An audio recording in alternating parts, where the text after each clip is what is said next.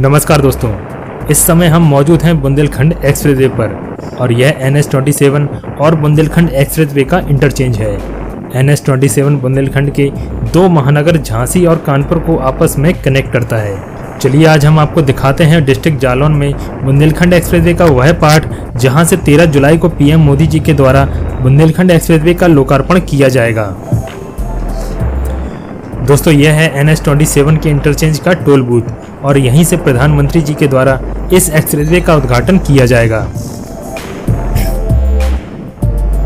आप देख सकते हैं, अभी से ही उद्घाटन की तैयारियाँ शुरू हो चुकी हैं। अभी कुछ दिन पहले ही अधिकारियों के द्वारा इस एक्सप्रेसवे का सर्वे किया गया और इस पर्टिकुलर पार्ट को उद्घाटन के लिए चुना गया। दोस्तों, आप लोग देख सकते हैं कि जेसीबी और ट्रैक्टर के द्वारा खेतों के समतलीकरण का कार्य किया जा रहा है। और इसी जगह पर उद्घाटन के लिए मंच लगाया जाएगा और साथ में बुंदेलखंडी सांस्कृतिक कार्यक्रम भी किए जाएँगे।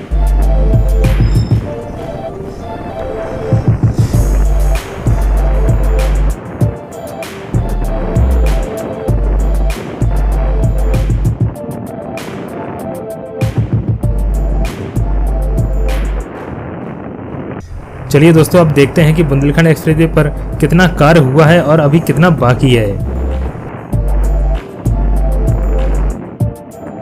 आप देख सकते हैं दोस्तों, कितना विशाल इंटरचेंज बनाया गया है।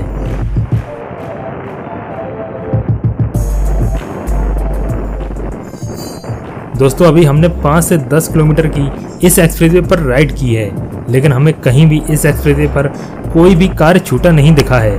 हाँ कुछ जगहों पर स्ट्रीट लाइट के कनेक्शन का कार्य ज़रूर किया जा रहा है, और वह कार्य भी चार से पाँच दिनों में पूरा कर लिया जाएगा।